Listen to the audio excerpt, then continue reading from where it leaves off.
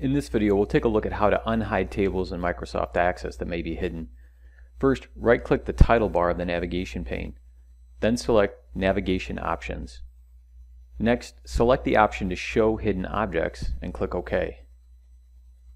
Now, any tables that were previously hidden should appear but be slightly grayed out.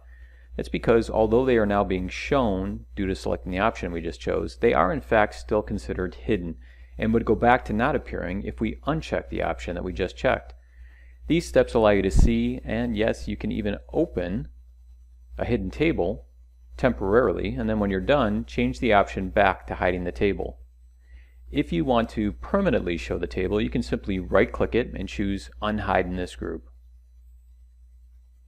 If you want to receive more helpful Access videos, well then just click the subscribe button below to be notified when new videos are released and to get in-depth training in Microsoft Access or dozens of other applications like Adobe Creative Cloud, Microsoft Excel, or Crystal Reports, visit our website at www.skillforge.com. Thanks for watching.